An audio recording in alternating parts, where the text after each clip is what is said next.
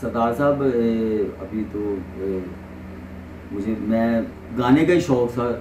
शुरू से मुझे ना गाने का ही शौक था लेकिन मैं कॉमेडियन बन गया एक्टर बन गया। अच्छा तो ना होता ये है कि अकील साहब पहले बंदे अदाकारी करते हैं फिर साढ़े अदाकारा में जो बंद कामयाब होंगे तो फिर हर बंदे अंदर एक सिंगर जाग सिंगर जाग और ईमानदारी ने गल दसो कि अगर तेरे अंदर वो टैलेंट सी सिंगर वाला ਤੇ ਪਹਿਲੇ ਤੂੰ ਸਿੰਗਰ ਕਿਉਂ ਨਹੀਂ ਬਣਿਆ? ਅਦਾਕਾਰ ਬਣ ਕੇ ਤੇ ਫਿਰ ਇਸ ਪੌੜੀ ਤੇ ਕਿਉਂ ਚੜਿਆ ਉਹ ਸਰਦਾਰ ਸਾਹਿਬ ਮੇਰੀ ਨਾਹਲੀ ਸੀ ਮੇਰੇ ਅਬੂ ਤਫੈਲ ਖਾਨ ਸਾਹਿਬ ਅੰਮ੍ਰਿਤਸਰ ਵਾਲੇ। ਬਾਬਾ ਗੁਲਾਮ ਮੁਹੰਮਦ ਸਾਹਿਬ ਦੇ ਸ਼ਾਗਿਰਦ ਸਨ ਉਹਨਾਂ ਦੇ ਬੜੇ ਨਾਮ ਹੋਏ ਨੇ। ਮੇਰੇ ਅਬੂ ਦੀਆਂ ਹਿੰਦੁਸਤਾਨ 'ਚ ਅਲਹਮਦੁਲਿਲਾ ਮੈਂ ਫਖਰ ਨਾਲ ਗੱਲ ਕਹਿ ਸਕਦਾ ਤੇ ਹਾਰਮੋਨੀਅਮ ਦੀਆਂ ਸਿਰਫ ਖਾਲੀ ਹਾਰਮੋਨੀਅਮ ਦੀ ਜਿਹੜੀਆਂ ਕੇਸਟਾਂ ਨੇ ਨਾ ਉਹਨਾਂ ਦੀਆਂ ਸੇਲ ਹੋਈਆਂ। ਵਾਹ ਨੇ ਬੜਾ 16 ਸਾਲ ਮਹਿੰਦੀ ਹਸਨ ਸਾਹਿਬ ਨਾਲ ਅਸੀਂ ਛੋਟੇ ਛੋਟੇ ਸਾਂ। ਅਸੀਂ ਪੀਟੀਵੀ ਜਾਣਾ ਆਪਣੇ ਅੱਬੂ ਨਾਲ ਜ਼ਿੱਦ ਕਰਕੇ ਉੱਥੇ ਗੁੰਚਾਈ ਸ਼ੌਕ ਲਗਾਏ ਸਾਰੀਆਂ ਰਿਕਾਰਡਿੰਗਾਂ ਮੇਰੇ ਅੱਬੂ ਨੇ ਕਰਵਾਈਆਂ ਨੇ। ਅਨੇ ਅਬੂ ਜੀ ਹਾਰਮੋਨੀਅਮ ਪਲੇਸ ਪਲੇਟ ਸਨ। ਹਾਂਜੀ 뮤직 ਡਾਇਰੈਕਟਰ ਵੀ ਸਨ ਔਰ ਮਹਿੰਦੀ ਹਸਨ ਸਾਹਿਬ ਗੁਲਾਮ ਅਲੀ ਸਾਹਿਬ ਨਾਲ ਅੱਜ ਵੀ ਹੈ ਇਨਸ਼ਾਅੱਲਾ ਮੇਰਾ ਸੁਣਨਗੇ ਇਹ ਵੱਡੇ ਲੋਕ। ਗੁਲਾਮ ਅਲੀ ਸਾਹਿਬ ਤੇ ਹੈ ਨਹੀਂ ਮਹਿੰਦੀ ਸਾਹਿਬ ਤੇ ਨਹੀਂ ਲੇਕਿਨ ਉਹ ਕਹਿਣਗੇ ਤਫੈਲ ਖਾਨ ਸਾਹਿਬ ਅੰਮ੍ਰਿਤਸਰ ਵਾਲੇ ਜਿਹੜੇ ਨੇ। ਅਰੇ ਵਾਹ ਵਾਹ ਮੈਂ ਤੇ ਲੇਕਿਨ ਉਹਨਾਂ ਨੇ ਕਿਹਾ 6 ਮਹੀਨੇ ਮੈਨੂੰ ਦੇ ਦਿਓ ਲੇਕਿਨ ਮੈਂ ਨਹੀਂ ਦਿੱਤੇ ਮੈਂ ਆਪਣੇ ਵਾਲਦ ਸਾਹਿਬ ਦੀ ਗੱਲ ਨਹੀਂ ਮੰਨੀ ਤੇ ਮੈਂ ਪਛਤਾ ਰਿਹਾ। ਹਾਂ, ਨਹੀਂ ਤੁਸੀਂ ਨਾ ਪਛਤਾਓ। ਕਿਉਂਕਿ ਮੈਂ ਕਈ ਹਾਰਮੋਨੀਅਮ ਐਸੇ ਲਿਖੇ ਨੇ ਜਿਨ੍ਹਾਂ ਦੇ ਉੱਤੇ ਤੁਹਾਡੇ ਵਾਲੇ ਸ਼ਬਦ ਨਾਂ ਲਿਖਿਆ ਹੁੰਦਾ ਹੈ ਤਫੈਲ ਹਾਰਮੋਨੀਅਮ ਅੰਮ੍ਰਿਤਸਰ ਅੰਮ੍ਰਿਤਸਰ ਤੋਂ ਸਾਡਾ ਅੰਮ੍ਰਿਤਸਰ ਅੰਮ੍ਰਿਤਸਰ ਅੰਮ੍ਰਿਤਸਰ ਐਸੇ- ਤਰ੍ਹਾਂ ਹੀ ਐਸੇ ਤਰ੍ਹਾਂ ਠੀਕ ਹੈ ਜੀ? ਤੇ ਉਹ ਉਹਦੇ ਬੜੇ ਕਲਾਕਾਰ ਮਾਸ਼ਾਅੱਲਾ।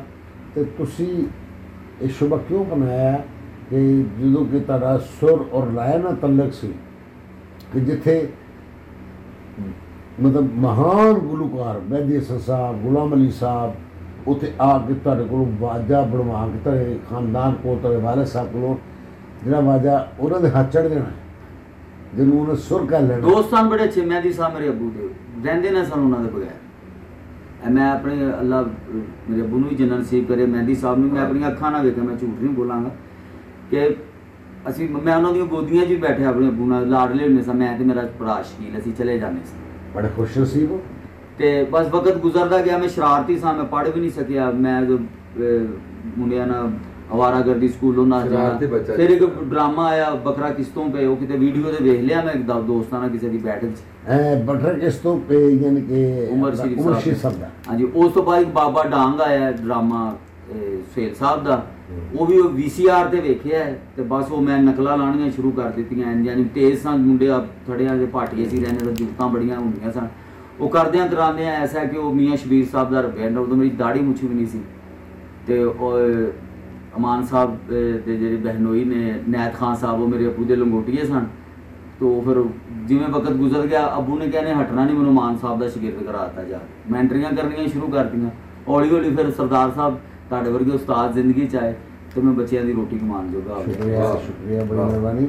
ਇਹ ਮੈਂ ਅਰਜ਼ ਕਰਨਾ ਚਾਹਾਂਗਾ ਕਿ ਜਿਵੇਂ ਕਿ ਇਹ ਤੁਸੀਂ ਫਰਮਾਇਆ ਹੈ ਕਿ ਵਾਜਾ ਹਾਰਮੋਨੀਅਮ ਹਾਰਮੋਨੀਅਮ ਤੇਰੇ ਵਾਲੇ ਸਾਹਿਬ ਬਹੁਤ ਅੱਛਾ ਬਣਾਉਣ ਵਾਲੇ ਔਰ ਤਿਆਰ ਕਰਨ ਵਾਲੇ।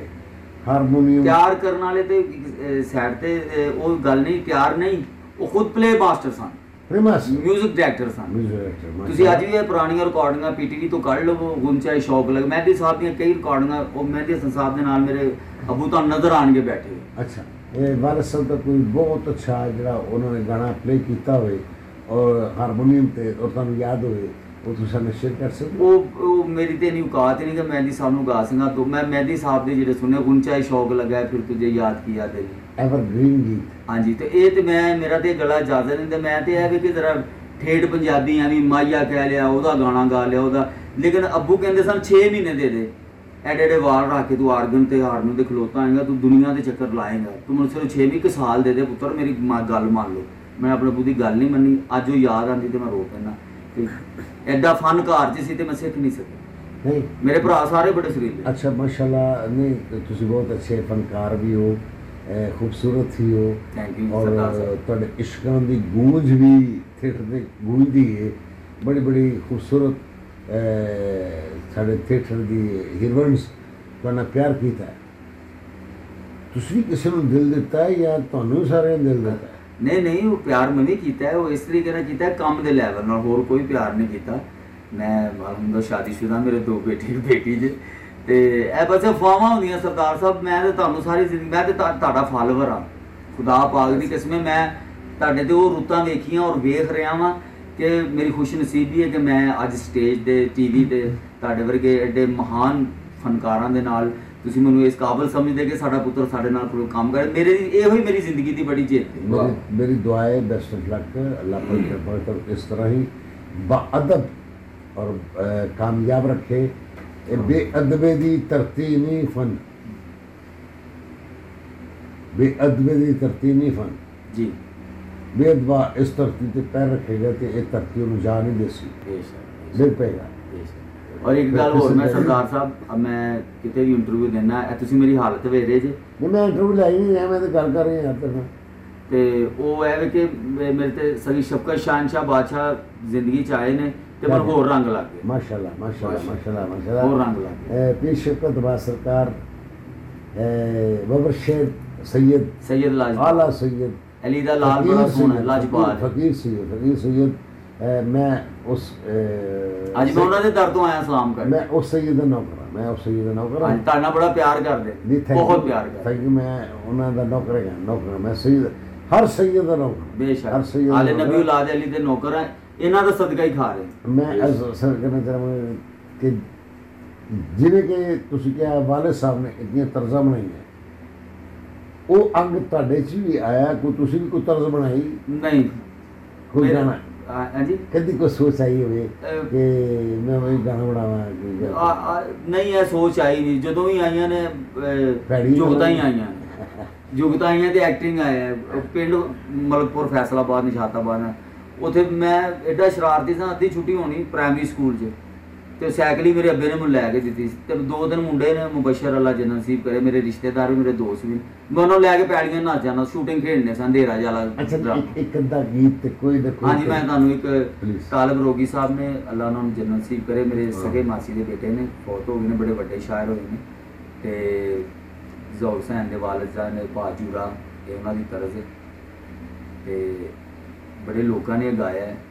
ਤੇ ਉਹ ਮੈਂ ਦੋ ਬੋਲ ਤੁਹਾਨੂੰ ਸੁਣਾ ਦੇਣਾ Please. ਸਾਰਤ ਤੇ ਨਹੀਂ ਲੇਕਿਨ ਮੈਂ ਸੁਣਾ ਦੇਣਾ ਨਹੀਂ ਸੁਣਾ ਮੇਰਾ ਹੋ ਗਿਆ ਏ ਰੋਗ ਸਿਆਣਾ ਤਬੀਬ ਮੇਰੀ ਬਾਹ ਛੱਡ ਦੇ ਅਰੇ ਵਾਹ ਮੇਰਾ ਹੋ ਗਿਆ ਏ ਰੋਗ ਸਿਆਣਾ ਤਬੀਬ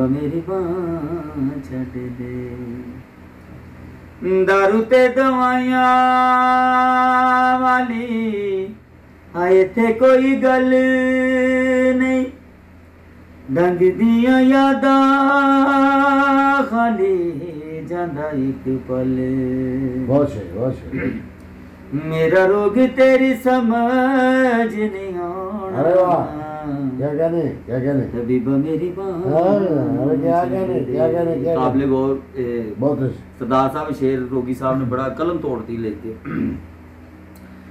ਰੋਗੀ ਮੇਰਾ ਨਾਮ ਵੇ ਤੇ ਰੋਗ ਮੈਨੂੰ ਪਿਆਰ ਦਾ ਹਾਏ ਰੋਗੀ ਮੇਰਾ ਨਾਮ ਵੇ ਤੇ ਰੋਗ ਮੈਨੂੰ ਪਿਆਰ ਦਾ ਦਸੀ ਸੁ ਤਬੀਬਾ ਕੁਝ ਹਾਲ ਤੇ ਬਿਮਾਰ ਦਾ बहुत अच्छे ਇੰਜ ਚੰਗਾ ਨਹੀਂ ਉਸ ਸਤੇ ਨੂੰ ਸਤਾਉਣਾ अरे वाह ਤਬੀਬ ਮੇਰੀ ਬਾਹ ਛੱਡ ਦੇ क्या कहने क्या कहने माशाल्लाह माशाल्लाह माशाल्लाह लो जी अस्सी अस्सा अकील हैदर साहब के नाल और इंशाल्लाह फिर मुलाकात होगी ਕਿਸੇ ਸੁੱਚੇ ਸੋਹਣੇ ਫਨਕਾਰ ਦੇ ਨਾਲ ਮੈਨੂੰ ਔਰ ਅਕੀਲ ਹੈਦਰ ਸਾਹਿਬ ਨੂੰ ਯਾਦ ਥੈਂਕ ਯੂ ਅਕੀਲ। ਸ਼ੁਕਰੀਆ।